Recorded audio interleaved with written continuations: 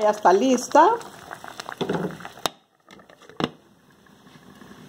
Bueno, eh, se ha tardado unos 25 eh, minutos. Vamos a revisar que todo esté cocidito. La yuca está reventada. Los plátanos. Los plátanos están también cociditos. Ya todo está. Pataste. Y los frijolitos, que fue lo último que le puse, ya están. Así es que ha quedado una sopa muy deliciosa. Y vamos a disfrutarla con un arrocito blanco con limón.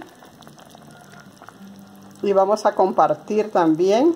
Siempre hay alguien con quien compartir, un vecino, eh, el señor que pasa eh, recogiendo la basura, el que pasa vendiendo los zapatos, arreglando zapatos, pero lo mejor es compartirlo con su familia. Siempre va a encontrar a quien darle un platito y en esta ocasión vamos a compartir con nuestra familia. Buen provecho.